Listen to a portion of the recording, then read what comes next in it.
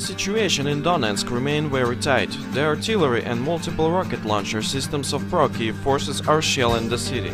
There are fights in Donetsk airport area.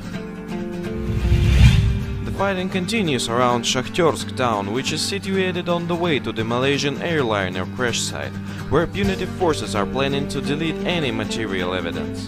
Now the city is 40 kilometers away from the Malaysian Boeing 37 crash site and is under control of the forces of the People's Army of Novorossiya.